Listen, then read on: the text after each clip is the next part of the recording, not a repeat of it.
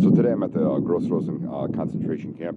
Um, this is one of the smaller camps. I think there was over 200 that were uh, in Germany and in Poland and in other areas during World War II. Uh, this one, as far as the records show, uh, 40,000 people died here out of the 125 uh, some odd thousand prisoners that were here. So uh, this is what I'll be showing you guys today and something that I want to share with you. There's actually a sign here uh, right behind me that basically you're not supposed to walk behind this area. And there's probably people that are buried here, but also being that this was in front of the camp, there was ammunition that was uh, still held here. Um, people are still dying years later. People that go through and try to build homes in these sort of areas because they don't have records necessarily where all the bodies were buried or where all the ammunition was buried. Um, and therefore people will start digging and people have blown up even in recent times. So it's actually illegal in Poland um, in most areas to go through with any metal detectors. So basically the area behind me, if you look, uh, this whole area, um, it's, it's basically telling you not to go past this area. You still have ruins here of some of the old homes. The foundations, the basements, whatever they had here. Um, it's hard to be able to tell because this looks like it actually would have been a house, if anything else. And reason being is it would have been, at least with what currently is left standing, uh, far too small to hold uh, ammunition. So that probably right there in that area, since it's a little bit of a different material and smaller, um, and has bars in the window, could have been everything from some of the workers' quarters if they had to sit here and work for some of the uh, Nazis that lived here. Um, or it could have been a cellar, but you could definitely see that that might have been the size of a room for somebody that would have lived here during that time. So, not necessarily always the clearest of records as far as you look around this place. And we're still right now outside of the camp, essentially. So, uh, well, you can see how it looks.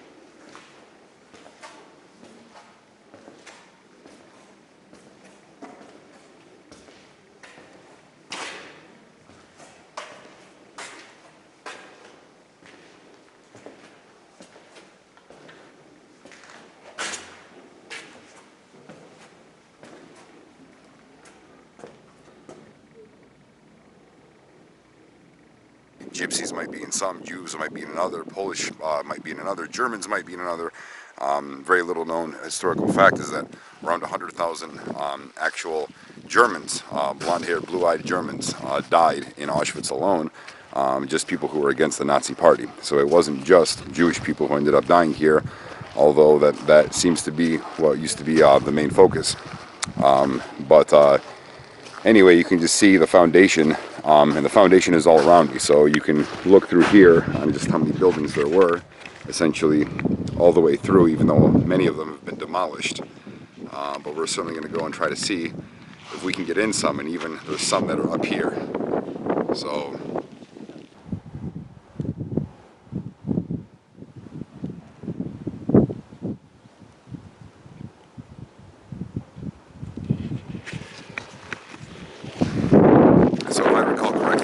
side. Today you can't actually go up to it. They actually it away. This was one of the small uh, crematoriums that they had built here. They could burn, like it says on the uh, placard, around 10 people every 24 hours, which of course was insufficient. Most of the people that died in this camp, they just uh, dug a big hole and uh, covered it and everything like that.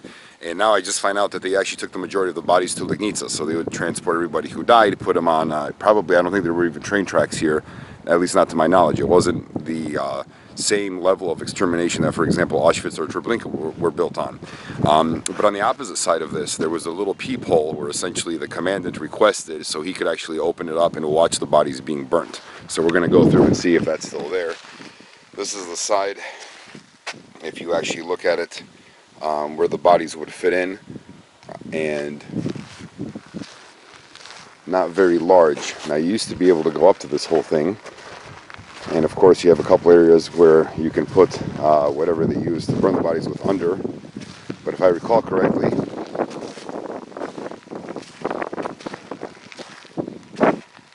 these little holes they had installed in there, um, essentially so the commandant of the camp could take a look in there and uh, see how everybody was getting properly burnt. So this is the actual bench where the camp commandant apparently loved sitting under this tree. Um, of course, it's right next to the crematorium, so he could not just see but smell the bodies getting burnt. Um, guard tower behind him, and um, one of his favorite things apparently to do was take his hat and throw it and tell one of the prisoners to fetch it for him. And then during that time, he would actually stand up and shoot the prisoner before he uh, got to his hat. And then, of course, he'd call another uh, prisoner to do the same thing. So this was his area where apparently he found peace while he was here. Um, that same commander was captured after the war. Uh, he was put to death. The other one committed suicide. The one that was right after him before that, but the one that I'm specifically talking about, and I forget his name right now. This was his favorite place to sit, right here in this area. And it almost looks like this is still the original piece of wood in the condition that it's in. So, um, but it didn't say you can't sit here necessarily. Um, and you can sort of see over almost the whole of the camp, and of course where the workers would have been uh, digging stuff out through this area with this perspective. You can see here, at least through the window, on how some of these beds were essentially set up. Um, right now, this part is closed off, and I'm not exactly sure why, um, but you get an idea of just how many people this would have fit. Um, and it sort of stretches all the way through that block and all the way through the end of this block. Um, so I'm to ask and find out how many people fit in each single one of these barracks, but overall, over 125,000 people were uh, locked up here, 40,000 of whom died.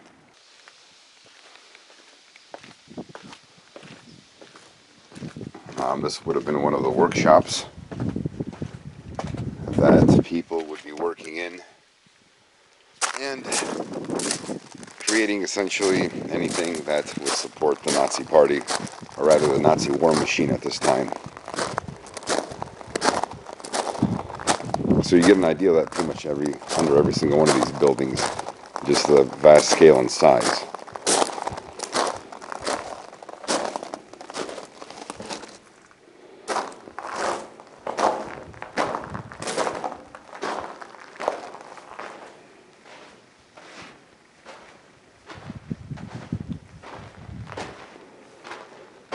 Not exactly sure what this was.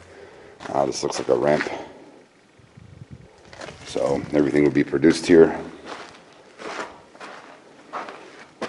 This could have been a bathroom. It looks like there's drains that are built in here. But this was the ramp, so it appears everything that would have been produced here would eventually be carried out and go out of those doors up the ramp and outside of the camp or loaded onto a truck and uh, delivered to wherever it was needed.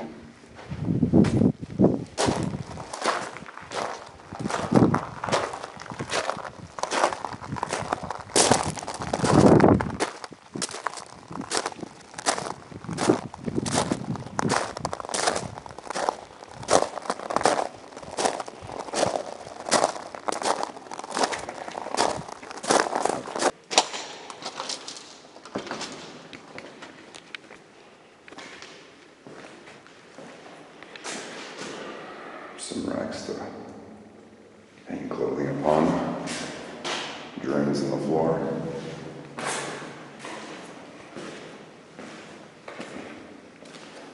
Here's obviously more drains.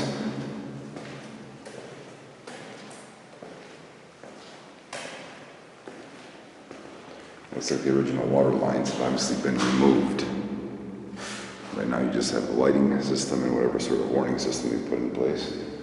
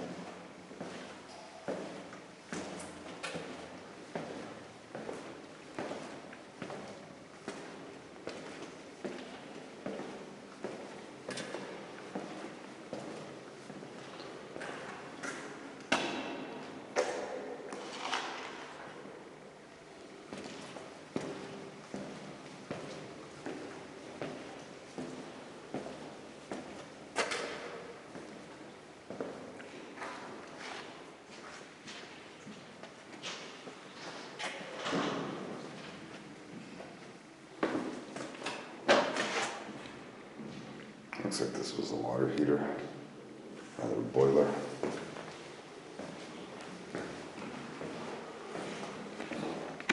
And the main source of water, which obviously would have come out of the boiler, gone up to the tubes and been dispersed throughout.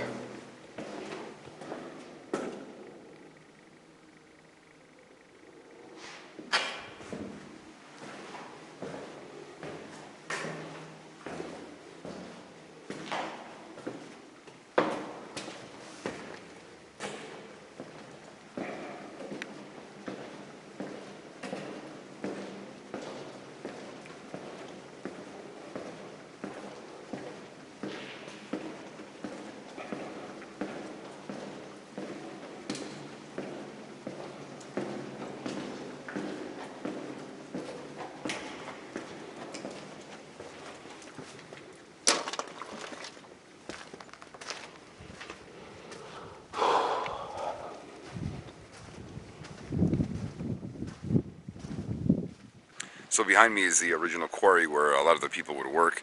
Um, the average lifespan here was about five weeks. Uh, and those were essentially the lucky ones because the Nazis actually put in place a system where the average person should survive off their diet and uh, forced labor something like three to four weeks. So five weeks was the average time. Right now, parts of it are filled with water. Uh, but it was not uncommon, apparently, for prisoners who are working up in that area to actually jump off headfirst themselves and commit suicide. And of course, it wasn't that it was filled with water. Uh, but yeah, many people jumped to their death, or were thrown to their death, or were simply shot and discarded and thrown down from this area. So uh, the majority of this work that we see here was actually done by the prisoners that were in this camp at the time. Uh, in the daytime or not, or what it does. Cześć Pesiu. Cześć Pesiunia. Pesiunka. Co Pesiu? But it's amazing because here we are in this camp and they still actually have a German Shepherd here. And I don't know if it guards it at nighttime. He looks pretty well taken care of, could certainly use a brushing. Pesiu, chodź tu. Chodź tu.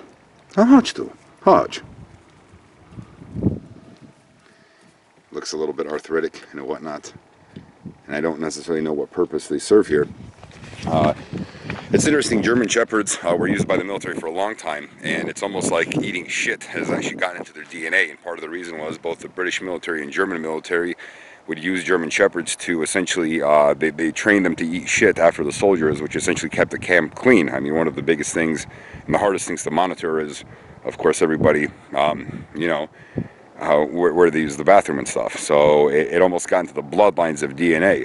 And it's like, having uh, a couple German Shepherds in my lifetime, a lot of them had this uh, certain um, sort of natural want to eat dog shit, right? So, um, but it's interesting that they still have one here.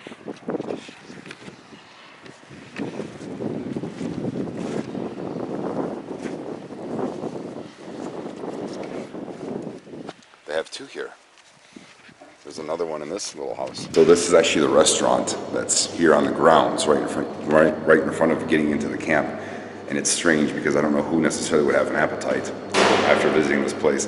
And we walked in here and there was a mouse running around on the floor, which actually, if you were one of the uh, prisoners here, would probably be a godsend, being how hungry people were um, and not having real meat in their diet.